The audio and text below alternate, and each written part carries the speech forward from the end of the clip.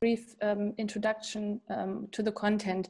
As we are all aware, of course, the European Union is currently facing the outbreak of the COVID 19 pandemic, and as a result, perhaps the worst economic crisis in its history. Next Wednesday, on the 1st of July 2020, Germany is going to take over the presidency of the Council of the EU in these uh, times. During this time, one of the main goals will be to navigate the EU out of the crisis. However, it will be just as important to help stabilize the EU's immediate neighborhood neighborhood. Um, the last months have shown that the EU's eastern and southeastern neighbors are particularly vulnerable to the crisis and its socio-economic impacts. That's why it's crucial for the EU to support them, both as an act of solidarity and for the sake of peace and stability on the European continent. Therefore, the EU immediately provided medical equipment to the neighboring countries and eventually allocated 3.3 billion euro to support the Western Balkans and 1 billion euro to the Eastern Partnership countries to address the COVID-19 outbreak and its long-term impact.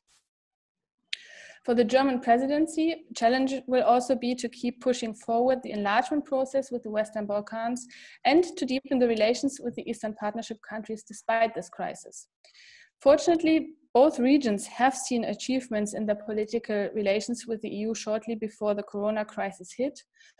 Um, on 24th of March 2020, the General Affairs Council finally gave its green light to open the accession negotiations with Albania and North Macedonia. This was a long awaited and necessary step, which the German government and with some reservations the Bundestag had supported along with the European Commission already for a while. For the Eastern Partnership, the Commission launched a consultation process last year to work out a new policy framework um, for the Eastern Partnership beyond uh, 2020 and presented a proposal for this uh, in March of this year also. And even though the preparation process of the new framework will be delayed due to the crisis, the overall focus of the Commission's proposal on strengthening resilience in the region could hardly be more up to date. Having said this, I would like to move on to the main questions of our panel debate today. How can the EU prove itself to be a credible and supportive partner for its eastern and southern eastern um, neighbors during the corona crisis? And how can it actively and effectively use the crisis to add value to the regions and deepen its ties with its neighboring countries instead of running into the danger of drifting apart? Um, I would first like to give the floor to Edgar Gansen. He is the head of the Division for EU Enlargement and Neighborhood Policy in the German Federal Foreign Office since September 2016. And um, as for the other speakers, you can find more detailed information about him uh, also on the website of our conference. Um, Edgar Gansen, the floor is yours. You will need to unmute your microphone so that we can hear you.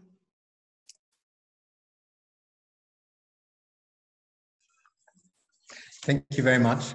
Thank you. You've already given an overview of where we stand in, in much of the processes um, or where we stood before the COVID crisis.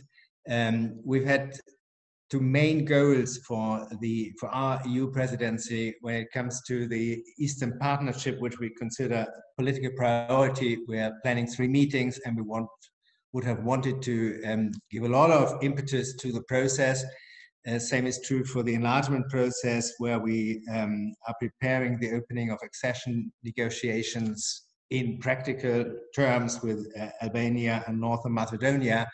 And no need to explain that the COVID crisis turned many things uh, up and down, and uh, and uh, a lot of um, processes need to be refocused because we have very practical problems with the um, with the number of meetings that we can hold.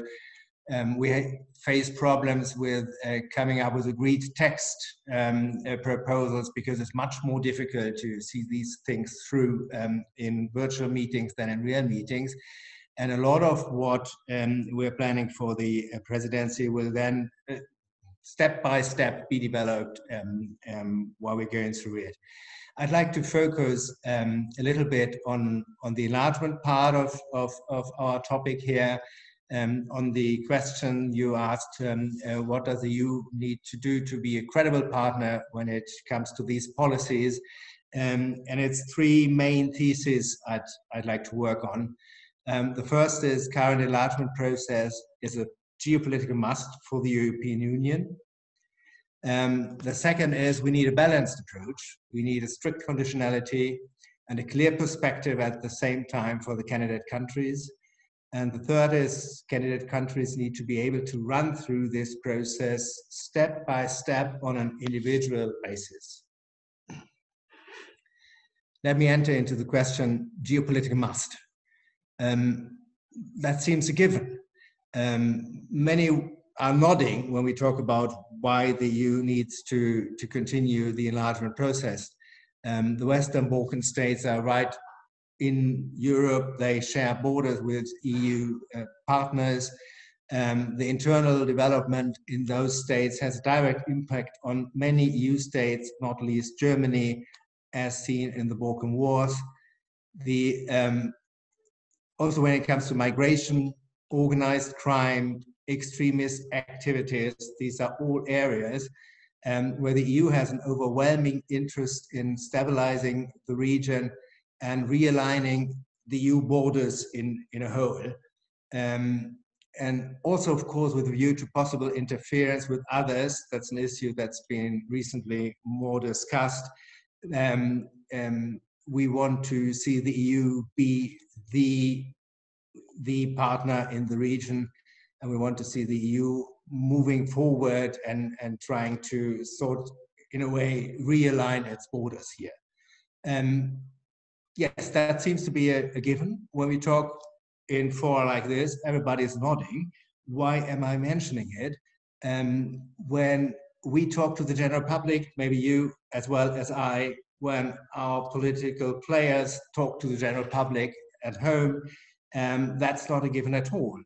Um, the same arguments that I just used in favor of, of proceeding with the enlargement process are used to the opposite in the opposite sense. People are saying, well, we have organized crime, we have all these problems you mentioned, that that leads us to the conclusion that these states are not fit and possibly will never be fit to join the EU.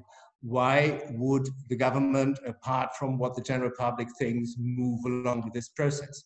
We even had that discussion in the Bundestag, you mentioned it, um, uh, briefly when we were to decide on the opening of accession negotiations with Albania and Northern Macedonia. We had uh, quite a number of members of the German Bundestag who were strictly opposed and then only step by step could be convinced uh, by the argument, which is clear to us, but still by the argument that uh, the entering into negotiations is not the, the joining, the, the admission to the EU. So that's been a very difficult, a difficult argument. And even some member states, as in that case France, when it came to Albania or the Netherlands, were not really in favor and were not buying the argument that the enlargement process is the best way of stabilizing the countries. They agreed that it was one way, but, uh, but, but many made the point that there were other ways too. Um, so that's what leads me to my second point, to be credible in that process, we need a very strict conditionality. We need clear criteria. We need detailed benchmarks, as in many areas we have, in many areas we don't. We have a general understanding that the UAC needs to be fulfilled, but to lead those countries, to make them able to fulfill these criteria, we need to break this down. We need to make we, we need to help them by breaking down um, um, the acquis into little bits that can be fulfilled, that can also be checked. Um, there are member states that would rather want to increase the speed, I would say the speed of the process over the seriousness of the, of the checking of the criteria. Um, and many argue that the candidate countries need to be able to feel that they're moving forward, to be able to include their, their general public, their population in, in the process. That's a very important element. Um, we, that's why I was saying, um, and, and that's our German position, we need a clear perspective. The EU has set out rules that and conditions that need to be met to be able to join the EU, but also, in the end, it has made clear at a number of occasions that these states will then be able um, to join the EU, but then we come to the question, how do we keep this process going over possibly a long period of time? Um, and I would go as far as to say, if it takes time to fulfill all these criteria, then it does take time, and that's maybe a good thing. Um, why is that so? Um,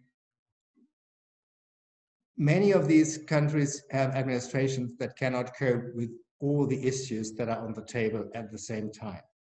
So they need to be able to focus, refocus, to work on one issue after the other, and then go through the process step by step. And that's something that we we would want um, an ability that we would want to give that. I mean, when we discussed French proposals to um, readjust the methodology of uh, accession negotiations, we were quite critical on the idea that member states would negotiate in clusters, that one cluster of mm, a number of negotiation chapters would be opened at the same time, would then negotiate it at the same time and would only close, be closed, the whole cluster, once all the issues were settled. Um, that's a system that would not only possibly take extremely long to, to run through, but that would also require the states to look into all the issues at the same time.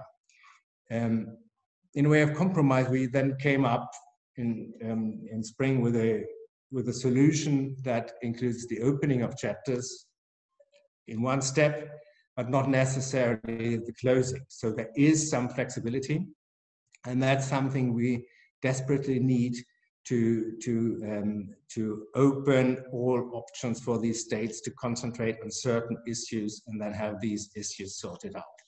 And only then um, we will be able, that's our, our assumption, to end up with a credible process, to end up with um, a final we need we need to come up at a, at a certain moment in time and where we can say countries have fulfilled um, all the criteria that are on the table.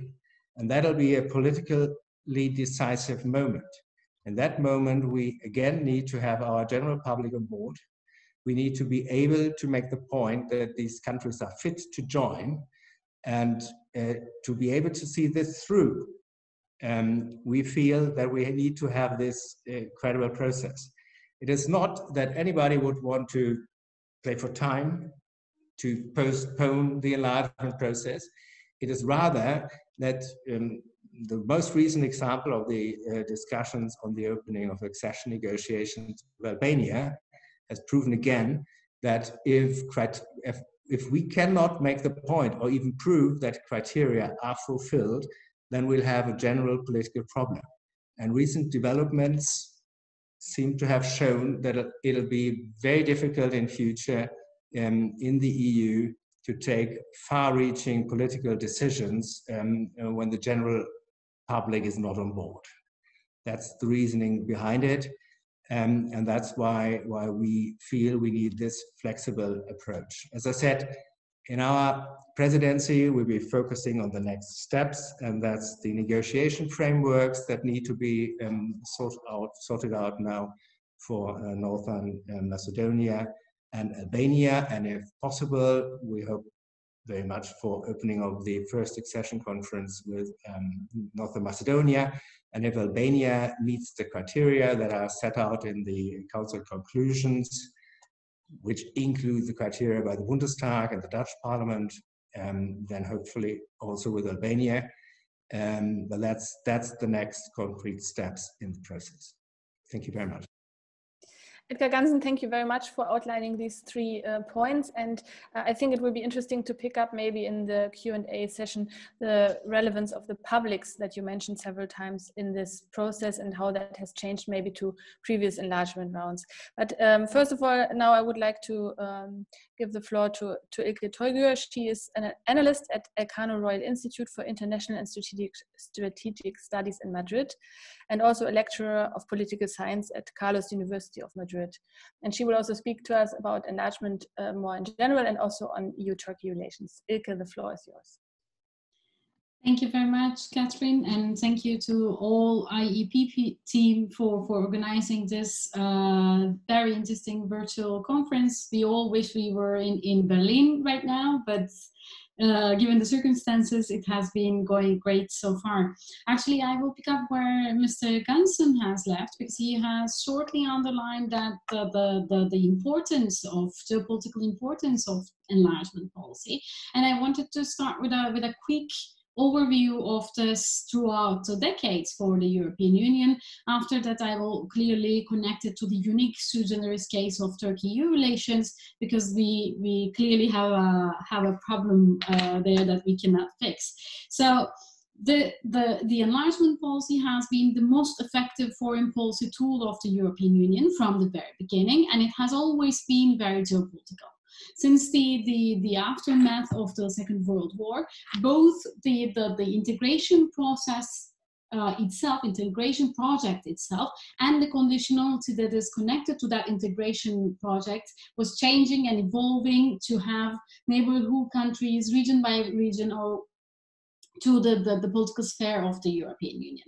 Why am I underlining this? The, the, the importance of uh, the linkage between the project itself and conditionality. Because we have seen with, uh, with throughout the years, throughout the decades, and with different waves of enlargement, the conditionality, which is the core of the transformation that, that the European Union is looking for in its neighborhood, evolving.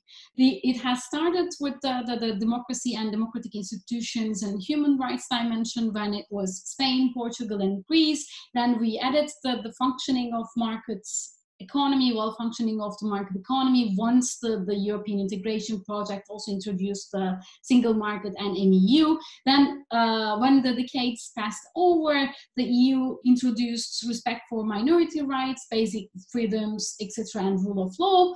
And when we started to come to the Eastern European countries and Balkans, suddenly good neighbor, neighborly relations and border management were also in the agenda. So every time that the, the integration projects evolved, the conditionality and what was expected from the candidate states evolved as well. And following these steps uh, externally, all these countries uh, became members members. And what was in the core of this process was exactly the relationship between the conditionality, strict conditionality, and the clear perspective for, for membership, what has been given as the, the, second point in Mr. Gansen's talk.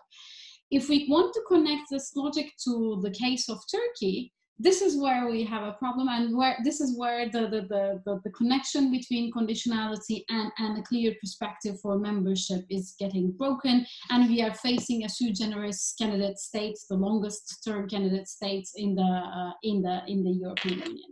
As we all know uh, the membership talks are right now uh, dysfunctional in the case of the the, the, the the Turkish candidacy, but clearly it is still preferred to an undefined strategic partnership, so none of the sides are, are willing to break it out uh, for now. Turkey is a candidate country since 1999, and it's in the accession process since 2005, until one 16 chapters have been opened and one was only provisionally closed. In June 2018, the accession negotiations has officially entered to its stalemate because have council conclusions for not opening any other chapters or closing them or moving towards uh, a modernized uh, customs union. So Turkey's uh, case is very sui generis.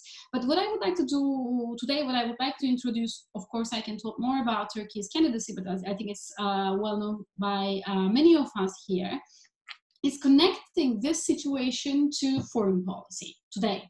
Because we have seen uh, Mr. Borrell, High Representative Vice President in, in Greece and, and Cyprus these days, uh, basically uh, confirming and reaffirming solidarity to these countries because these member states had various issues and still having various issues in, with Turkey right now. So we are having a case here, we are, we are witnessing a case here, a candidate country, not necessarily effective uh, enlargement process for decades now, and the certain issues of foreign policy where we not necessarily know how to solve, we don't even have an effective platform to deal with. So enlargement policy being the, the, the most effective uh, foreign policy tool, the EU is not necessarily prepared when it comes to a candidate country that that was gone bad or the relationship candidacy status or enlightenment status that that has gone bad. So we have also in addition to that we have a, a, a country turkey which is way more assertive in its foreign policy since especially since its transition to, to, to presidential regime it is not necessarily faithful to its uh, western alliance not necessarily moving towards any other actor but basically juggling its alliances and then trying to counterbalance them them and not necessarily uh, shying off from uh, from unilateral usage of force. So with this, we have various issues on the table. We are facing tensions in, in, in Syria and now more frequently in the Eastern Mediterranean. And we have a European Union that is not necessarily having tools or having the toolbox to deal with this because the, the only existing framework on, on, on in this regard is not necessarily functioning anymore. So this is uh, basically what I wanted to introduce when it comes to the case of Turkey, because uh, we might all remember right before the, the, the, the COVID-19 pandemic hit us all, uh, Turkey was moving Syrian uh, refugees towards the Greek border and I'm, I'm, sure this this this issue will will come back in the in, in the fall. And I'm, i I would very much like to to hear the opinions of Mr. Gunnarsson on that regard and what is the plan of the German presidency in that regard. But the, the I know I have few time left so I, I left so I would like to to kind of conclude it with this. Enlargement policy is the, the, the, the most effective foreign policy tool that the European Union has or had, it has been reflecting the internal uh, project, internal integration project to the neighborhood with the, the, idea of conditionality and preparing all these countries to become members with a clear perspective uh, for membership which I think I'm sure that that we will talk about that when it comes to Western Balkans as well. But when it comes to Turkey, now we are lacking the power to apply conditionality uh, lacking the, the, the, the, clear perspective on membership, and we have lots of problems when it comes to the relationship on foreign policy in general, but bilateral relations between Turkey and neighboring uh, EU countries in particular. So we have a puzzle there, and I would be very happy to elaborate further on what I think the, the, the, the solution or how we should uh, bring this issue in a more positive ground in the question and answer session. Thank you very much. Okay, thank you very much for pointing out this puzzle, and I also look forward to discussing this in the Q&A session. Um, but first, I would like to give the floor to Daniela Jacimovic. Uh, she's a professor at the Faculty of Economics at the University of Montenegro and has a particular focus on the economic dimension of the stabilization association process and the accession process of the Western Balkans. And I look forward to hearing her intervention. Daniela, the floor is yours. Uh, thank you very much for having me here and just Uh, giving the opportunity just to share some ideas and views that we have here in the Western Balkans and trying to find sustainable convergence with the EU in this very, very delicate time of the COVID-19. So yes, as you said, I'm the economist and here in Montenegro and I believe in all Western Balkan, we are really, really focused how to manage the socioeconomic impact of the virus. And I think that I was zooming all these two months into different debate in the TV and with the government how we how we should treat it properly. So just to say, like in most countries in the world, Western Balkan countries will enter to the recession this year. And based on the recent World Bank projection, the slope of the GDP will be for now 5.7%. The reason for that is that the region is really intensively economically integrated with the EU. So the lockdown, uh, of the EU economies has caused a sharp decrease in demand of our goods and services. And what is even more important, diminishing investment and migrant remittances from the EU. So from the autumn, we will have all new governments and they will really face uh, very, very hard times and two the biggest challenges. And one challenge for sure will be how to manage socio impact, uh, socio socioeconomic impact of COVID 19 and another challenge will be new enlargement strategy where political criteria is just an imperative. So it is not really hard to guess what will be the most important priority for our government governments. It for sure will be managing economic social impact and actually from the March governments in all our countries are really discussing how to manage and how to the best manage survival of our economies. So yes, political criteria is very important, but I don't know in which content, in which time, in which time our governments and well as well as the general public can really focus in this new enlargement uh, criteria and the political criteria as a focus. So yes, I do agree that for both parties it is very important to ensure further democratization of our society. It is very important to have good implementation of rule of law, combating corruption and organized crime in the region. But I'm not quite sure in which extent and how much we can do it in a medium or um, short term. So um, it appears that Western Balkan countries are quite different from those from Central Eastern Europe. And in our region, geopolitics constantly play important role in uh, our convergence. Russia has had traditionally strong historical, cultural, religious ties in the region. But China and its presence be, has been very visible through a lot of infrastructure investments like tourism, energy, uh, transport, uh, industrial production. We can talk about Balkan Silk Road, road and it's very visible, especially after financial crisis. So when we are talking about Western Balkans, as Mr. Gansen said, we need a lot of time. So the reason for that is that almost each step forward in our integration process have been powerful, have been just the battle among powerful pull and push factors, almost equal strength. And all that have made process of enlargement very slowly, very long and certain. That is really why important why the recent Zagreb Declaration emphasized for the first time formal and explicitly that uh, region is geopolitically important for the region for the EU. However, declaration make, makes no specific mention of enlargement, no new membership, no EU integration for um, any country.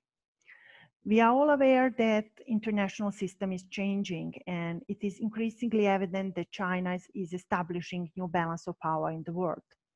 China is willing and able to support countries seeking for financial assistance and China is trying to in the same time to fulfill their its strategic goals and that role I will say will be more and more dominant in post-COVID era.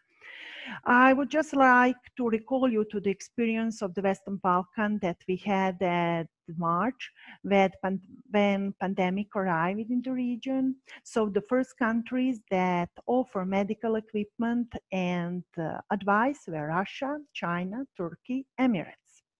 Fortunately, in May, EU responded with significant 3.3 billion of euros of uh, COVID-19 emergency relief for the region. But to achieve sustainable convergence with the EU, Western Balkan countries need to achieve 6 to 8% annual growth and 5, 25% of investments of the GDP.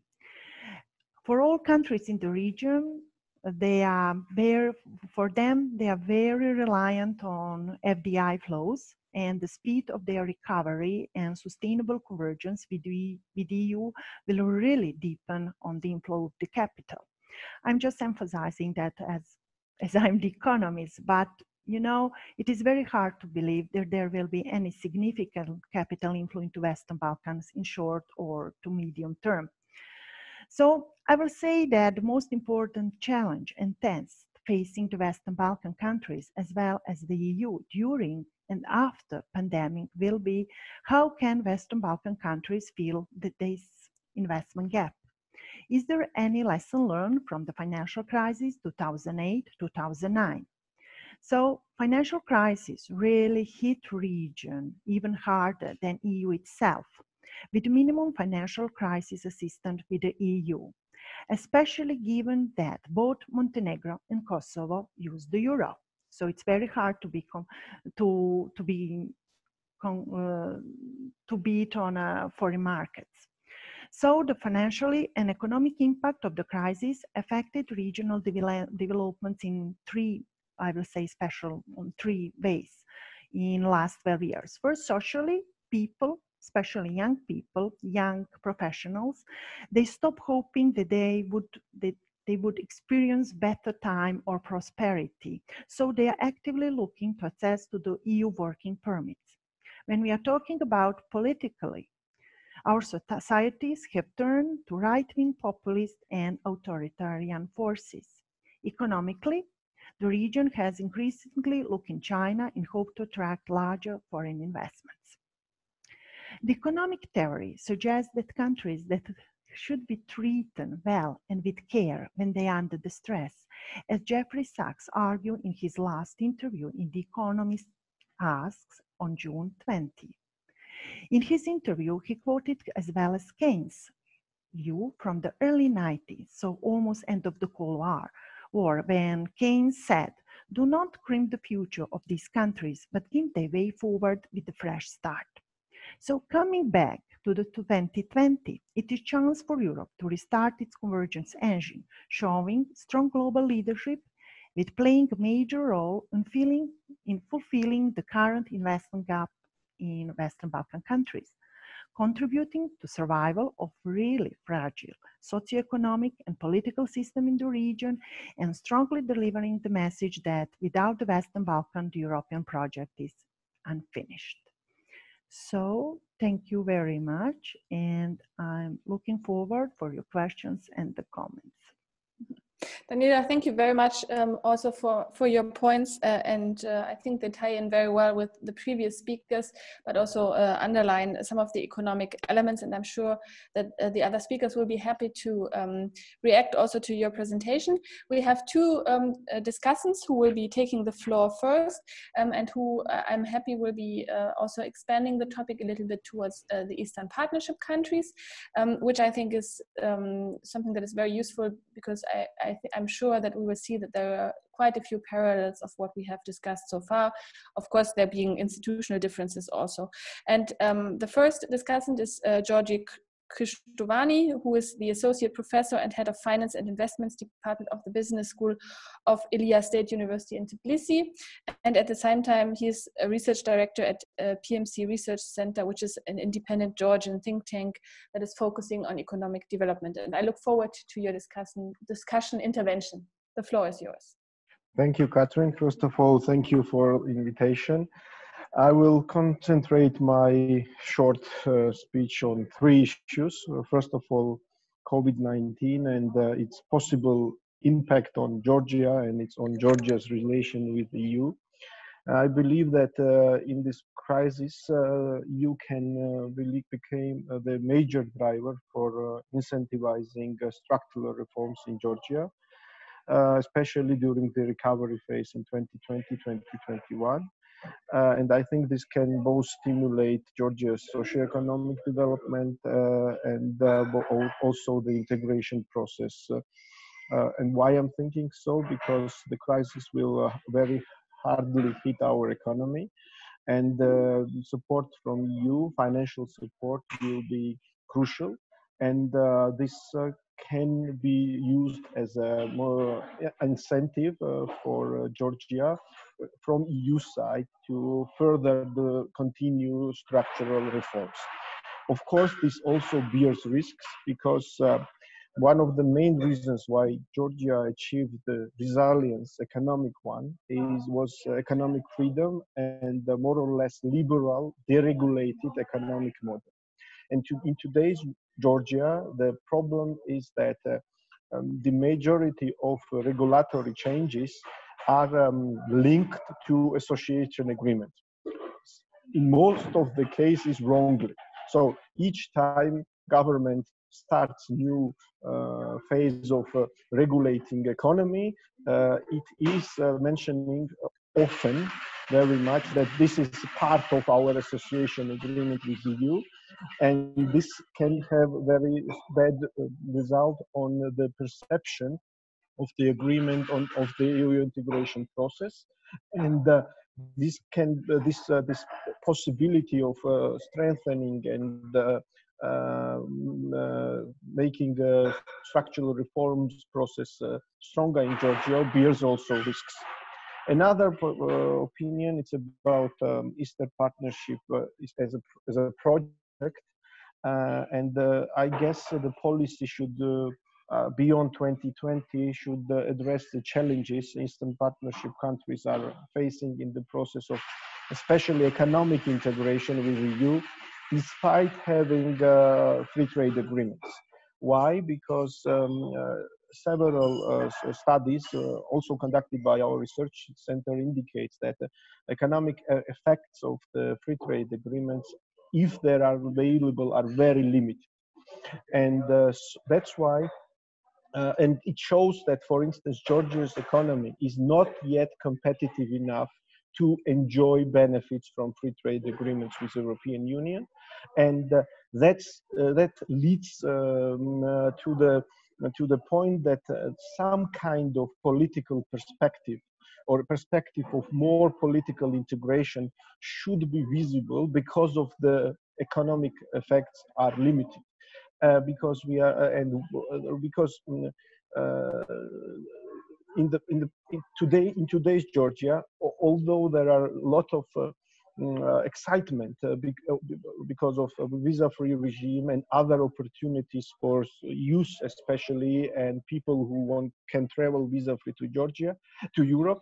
There are also some kind of skepticism because of uh, not clearly visible economic effects uh, and yet, uh, the, as I mentioned, the association agreement is a kind of uh, linked with new regulations, new rules, new uh, new norms that uh, that Georgian businesses have to comply with, and and the results are not yet visible. So I guess this might be a challenge challenging issue.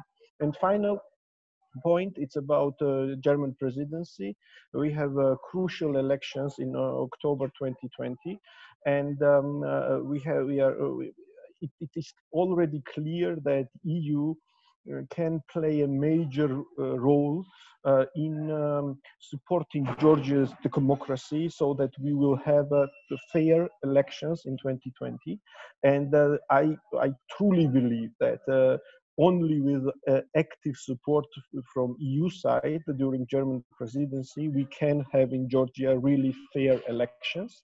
And uh, this be, might be the most important issue for the next six months in Georgia to guarantee this. And EU can play a massive role in this process. Thank you very much.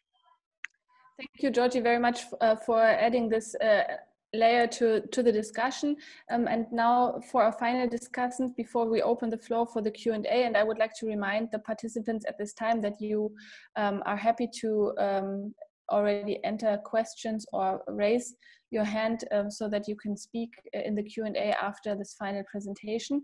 Um, I will now give the floor to uh, Dr. Yuri Yakimenko, who is the president of the Ukrainian think tank Razumkov Center in Kiev, um, which is also a partner of Institute for Europäische Politik, which I may add at this point. And uh, he has worked uh, before joining the Razumkov Center at the administration of the President of Ukraine as a political analyst for many years. Um, Yuri, the floor is yours.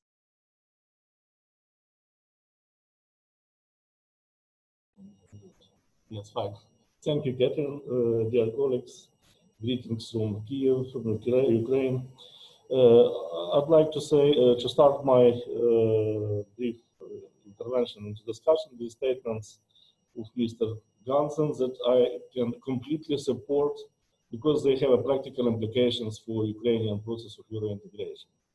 First of all, uh, statements that current Atlantic process is a geopolitical must for the European Union means that for us in Ukraine, uh, the next wave of enlargement of Western Balkans won't be uh, the next one won't be the last and ukraine somehow will have a chance to uh, to become a member of european union in the future and it's not uh, the neighborhood policy for us is not uh, the state of affairs, it's just a partnership. Uh, we think that for us it's a process with a very definite goal, the complete membership in the European Union. And here I'd like to step to the next point, that we need uh, a balanced approach, strict conditionality and a clear perspective for, for candidate countries. For us uh, as well, it's very important because uh, we are in the process of European reforms that should lead us to a certain set of criteria that Ukraine should meet before it will be prepared well to further accession to the EU. Uh, but the problem is uh, that we uh, probably need more detailed indicators of progress and indicators how to meet this conditionality. It makes this, this process more understood both for public and for our partners. Because, for instance, in some spheres like reform of judiciary system, fighting corruption, and reform of uh, state institutions, uh, we need uh, something more understood in order to access uh, to to assess the progress in these spheres. and again, that point number three is that candidate countries should be able to go to run the process on an individual basis. Of course, each country from the, each member of Eastern neighborhood policy of Eastern Partnership uh, has its own track, and Ukraine has uh, its own track. It's maybe different from other countries, and it is reflected in uh, association agreement between the EU and Ukraine. And uh, for this situation, uh, I would move forward some Ukrainian priorities in European uh, integration for this moment. firstly, of course, it's about pandemic recovery, because we need developing partnership in health, pharmacology, uh, also support of small and medium business, tackling unemployment, and uh, so on. Uh, also, it's very sensible issue of adopting visa-free regime in the post-quarantine period, because for a lot of Ukrainian people, the, the, problem of moving to the EU countries, it's very, it's just a vital problem. Uh, another point is the uh, need for economization of the partnership. And uh, here we uh, could speak about the extension of the EU economic recovery programs to the Eastern Partnership region, for instance. Uh, involvement of six countries in transcontinental infrastructure projects of the European Union. And also we can say about some policy, new policy formats for partnership uh, as introduction of the EU plus three enhanced uh, dialogue format, as Kiev, Greece, and Chisinau insist. And of course, uh, I can't uh, avoid uh, an issue of uh, cooperation in the sphere of security because for Ukraine, uh, as for Georgia and as for Moldova, it's especially important. And uh, I should mention as very relevant section number four from recommendation of the EU about enhancing of Eastern Partnership, especially security, stability, territorial integrity, and conflict management. Uh, because uh, as we see from uh, recent declarations from Russia, from Kremlin, that there are new evidence of continuation of neo-imperialist policy and some things justify further territorial claims for post-Soviet countries. We think it's very dangerous not only for Ukraine but for Europe at all. And because of that, we uh, see that European solidarity in support of territorial integrity and sovereignty of countries of Eastern Partnership, as well as uh, restraining of Russians' attempt to break uh, European integration of our countries. Uh, I can say this from the Ukrainian perspective, but I think it's uh, also uh, maybe said about custom of Western Balkans and our uh, neighbor countries, post-Soviet countries. It's also a very important issue. That's all what I would like to say for this moment. Thank you. Yes, Yuri, thank you very much um, for your points, also for the discussion. Um, now I would invite uh, all the participants again to um, uh, uh, raise their hand or to raise um, a question in the chat function. We have already a first question uh, to Edgar Gansen, whom I think might also be interested in responding to some of the other uh, presentations. Um, and uh, I would like to ask, um, invite Barbara Lippert um, to switch on her camera and uh, to ask her question if she would like to do so. Yes, hello. Um, good afternoon. Uh, my question goes to Mr. Gansen uh, uh, and concerns the new methodology for enlargement. Uh, and the question is, do you see any improvements uh, uh, in, in this revision? And are they more on the side of the EU or on the side of the, the candidates? Thank you. Barbara Lippert, thank you very much. Um, since there are no other questions at the moment, I think I will give the floor directly um, to Edgar Gansen if he would like to respond um, to the question and also if he would like to make any additional comments. Edgar Gansen, please. I think you still have to switch on your microphone again. Yes. Thank you very much. Thank you very much, Ms. Lippert, for that straightforward question. I hope you don't expect a straightforward answer. the answer is yes, there may be room for improvement. Um, I believe it, it may be, have become quite clear that we weren't in favor of changing methodology straight away. Um, we thought that the way we worked through the individual chapters, the way we worked with the member, with the candidate states was slow but successful. And as I tried to make clear in my presentation, it had many advantages. Now we have elements that can be used um, to, to uh, make the process better as a more detailed um, prescription of the, of the individual um, tasks that need to be fulfilled. There are other elements like the political steering or um, the opening up of chapters or number of chapter in a cluster at the same time that may work to the disadvantage. So the proof is in the eating. we need to make the best of it, uh, I, I, would say. Um, um, we are in favor of improving the process wherever it's possible. And if that third element um, that we will be discussing later in the year, um, when the Commission is supposed to make proposals, that's increased support of the member states, uh, of the candidate states, uh, adds to it, then we might end up with a, a, positive package, I would say. But that's an important element and that hasn't been discussed yet, and we're still waiting for proposals on this. And I would also like to touch, if I may, on Ilke Toygür's point of um, the best um, EU foreign policy instrument, and that is EU enlargement. Um, that is one of the effects the enlargement process has, but I'm, I would be reluctant to call it foreign policy instrument. I mean, it's, it's in a way an instrument of growing of the community. Um, and you made the point that the conditionality was evolving, evolving. That's because the number of states was increasing and also the number of issues of policy areas that we're dealing with increased too. And um, there's very early been the, um, the understanding that members may only join if they're able and willing to take up all that portfolio of things that had been agreed on earlier on. And that's why, of course, um, the, the conditionality is evolving and the, the criterion of, um, of good neighborly um, relationship um, wasn't a criterion earlier on because there were no problems in the in the first group that that joined. I mean, at that time it was to overcome certain problems we had in, in Europe, but um, good neighborly relations, as we understand it now, was no issue at that time.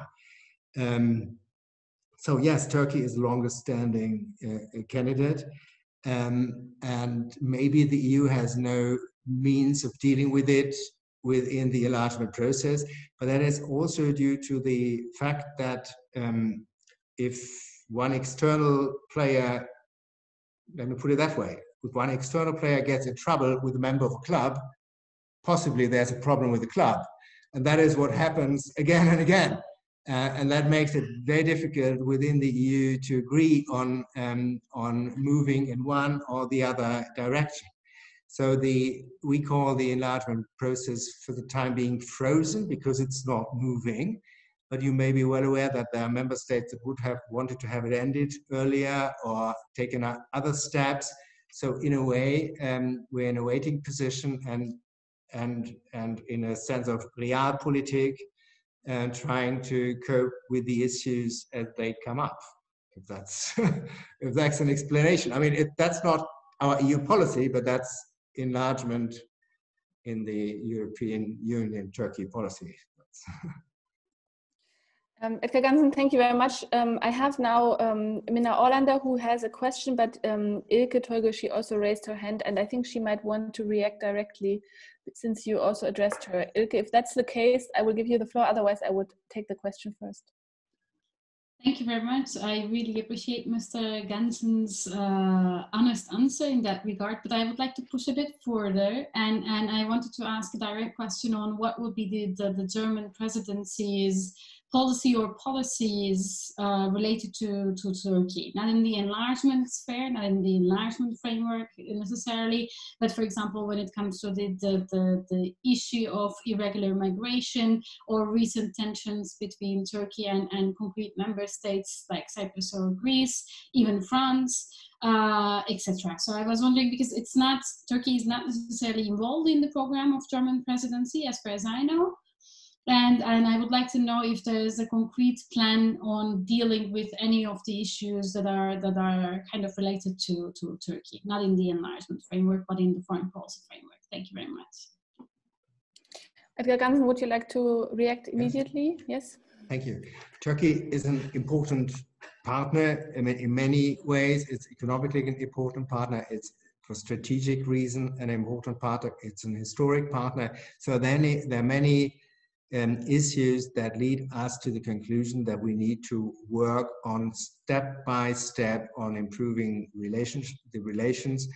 There are certain issues, you mentioned the, Mediterranean or the migration issue, um, that are in our understanding pushed forward by Turkey and that don't make it easy to find a proper EU answer.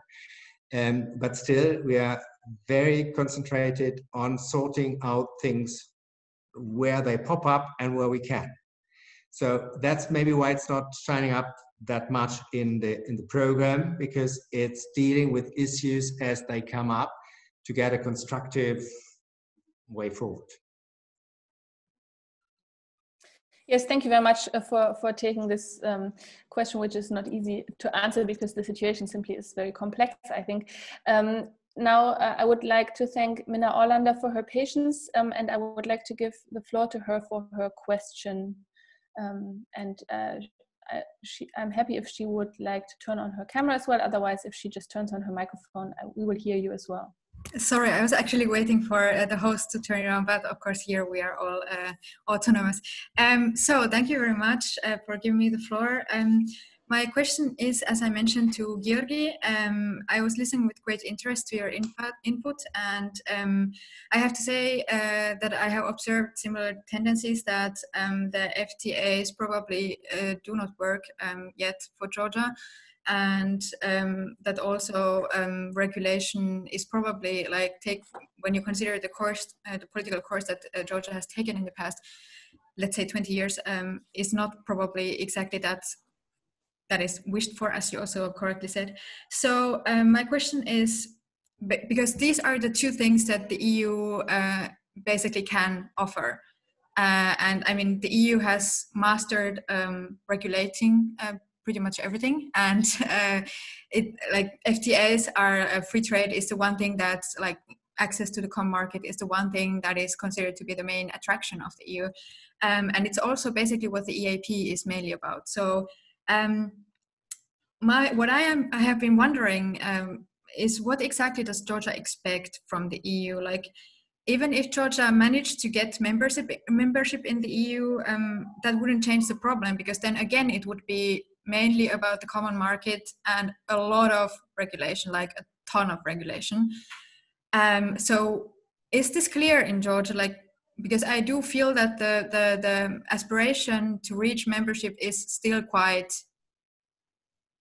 it's still there, right? So um, why actually? and um, is there any like, like what do you think how could the eu basically reach Georgia better? Is there maybe a communication communication problem as well? And also, is it maybe slowly down, dawning on the Georgians that um, the EU possibly cannot give Georgia what it needs or what it wants, and that it's not necessarily the best option for Georgia to aspire a membership? Um, or is there some kind of like debate in Georgia about what would be an option? Thank you. Thank you very much. Um, and I will pass the floor di directly to Georgie for, for an answer to this question. Minna, uh, thank you very much for a very interesting question and very difficult question. Uh, for Georgia, uh, uh for instance, uh, visa-free regime was very important uh, issue for the society. So free travel to Europe was always uh, an issue. And uh, after having this uh, achi achievement, I guess for most of Georgians, this was the this was the main goal in the in their perspective what Georgia could achieve. Mm, uh, next issue is security. I guess that uh, in Georgian public discourse, uh, the issue of security is very important one. And uh, here there is a clear vision, I guess, in the society that uh, EU is the maybe only way, EU integration is the only way for Georgia's security, to ensure Georgia's security. And this Russian threat is always present. And the Russian uh, uh, mis disinformation campaigns and everything is related actually to uh, somehow strengthen this thinking uh, not so sorry to uh, threaten this thinking uh, and uh, i guess the security is the most important thing today but at the same time as i mentioned there is a there is there are not clear impression in the society which other aspects of uh, EU integration may benefit Georgia. So we have visa-free regime, and at the same time, if we will have kind of uh, security assurance from EU side, this might be already enough. Because uh, otherwise, I can say that uh, economically, uh, there are no real ties. And as I, I already, I, I, will repeat it, but at the, at the moment, there is very hard for Georgia economic agents to be competitive at, on European markets. And because it will take, uh, I guess, decades of development, of uh, increasing competitiveness to be able to compete on European markets, that's why at least there is uh, more political integration needed to have uh, kind of short-term uh, political and socio-economic and political goals in the country. Because otherwise, as I already mentioned, the most of actions uh, uh, which are related, uh, socio-economic and are related to and linked to Europe are mainly it's about new regulations and it's about new guidelines for doing something differently.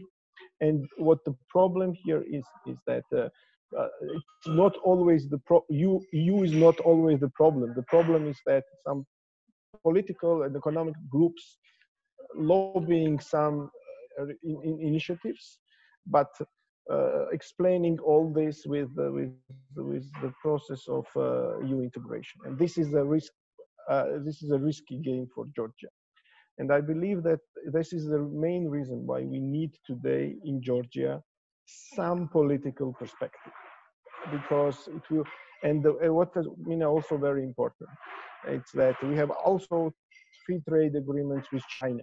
And if you compare, there is a lot more economic effect, positive economic effect with the free trade agreement with China than with Europe and it shows that uh, having free trade agreements is not enough. You need competitive economy, and this is the problem Georgia is facing today.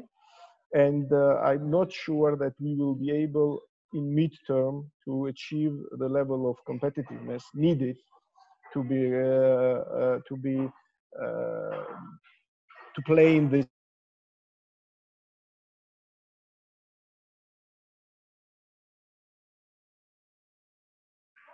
Um, Giorgi seems to have a few problems with his technical um, setup, but I think he made his point. Uh, I think, uh, Minna, thank you for your question and also Giorgi for your reply to this. Um, I don't see any further questions at this time and our, uh, also our time is almost up, but I would like to give a chance to those two uh, speakers who did not uh, have a chance to reply to the discussion if they have uh, any final words. So Daniela and Yuri, and all the other panelists, if they want to uh, intervene again, they should please raise their hands. Then I will also give them the floor. Otherwise, Daniela, I will um, give the floor to you first, and then Yuri afterwards for some final remarks, if you have any. So Daniela, you would need to unmute uh, yourself again, and then we will hear you. Oh, thank you for giving me this opportunity. Unfortunately, I didn't have any questions so that I can refer to, but I really do cope as a well, citizen of Montenegro, as the smallest uh, Western Balkan countries, and uh, to say that I would really like to see all our countries once upon a time in the European Union. And when you gave me the floor, I will just, since I'm economist and I'm international economics. So when we make balance of payment, if there is 5% discrepancy, we say, okay, statistical error. So balance of payment is perfect or any international statistic is perfect.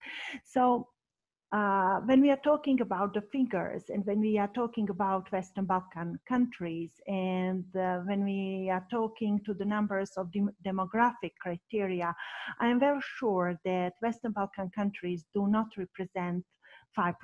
It's even less. So uh, I think that maybe sometimes we should really think about all these numbers and try to convince the uh, general public in both sides, in our countries and as well as EU countries, that we really we couldn't uh, that we really can't um, destroy any of with that one of 2% of EU that we really can't destroy uh, budget of EU or any high standards. It, it, will be much easier for us to fulfill all the standards uh, with EU or otherwise very soon we will have only pensioners here in the Western Balkans and anyway all the population of Western Balkan will go to EU and probably will have to fulfill a rule of uh, rule of law. So thank you. Thank you for your um, last intervention. And Yuri, if you would like to also comment uh, uh, final, uh, one final time, the floor is yours. Um, yes, thank you, Catherine. Uh, I'd like to finish uh, with the hope that German presidency in the EU uh, should give more impetus to implementation of EU-Ukraine association agreement. We have some particular tasks in order uh, to improve uh, this agreement in a sense of sectoral integration, uh, economic integration, con conclusion of ACAA agreement, so-called industrial free trade regime, and also that uh, German president, uh, presidency also will uh, help, help us to be more resilient, more strength, feel more confident in conflict with Russia. Thank you. Thank you very much, Yuri, for your last remarks. Um, and now to the speakers who had a chance to already um, intervene again. Ilke, Edgar Gansen, um, did you have any final comments or are you, are you fine? Edgar Gansen is raising his hand, yes? I'm also I, I just like to mention much. that I, sorry, I, that I enjoyed it very much and it's, it's many issues that we only raised upon. It's clear that we can't go into detail. So um, but it was a good discussion. Thank you. Okay, thank you very much. Um, yes, this is uh, uh, um, almost what I was going to say also for, for my final remarks, because I feel that we have touched upon many issues, and uh, I think what has uh, become very clear again is um, that there are many uh, similarities, but also, of course, some differences between the two regions that we touched upon today, uh, but also that the different layers concerning citizens, concerning elections, um, trade agreements, uh, but also rule of law are all intertwined, as well as the international order and the relations between the EU and other um, uh, larger countries like China or Russia that were mentioned. So that I agree with you, Edgar Gansen. We've touched upon many of these issues and would be interesting to go deeper into these topics. Um, and I'm, I'm, sure we will have a chance to do so at, at other occasions and in other conferences. Um, but now it is for me just to thank uh, all the speakers and discussants for taking the time to discuss with us um, the future of the enlargement and the neighborhood policy to all the participants in uh, joining us uh, this afternoon and for those who actively also participated in the discussion. And I would also like to thank my colleagues um, at uh, TEPSA and at the Institute for Europäische Politik for the preparation of this event and for the technical setup uh, as well. And um, I look forward to the discussions uh, on our panels uh, tomorrow at the pre-presidency conference, which will continue tomorrow in the morning. So thank you all again and and have a good evening. Goodbye.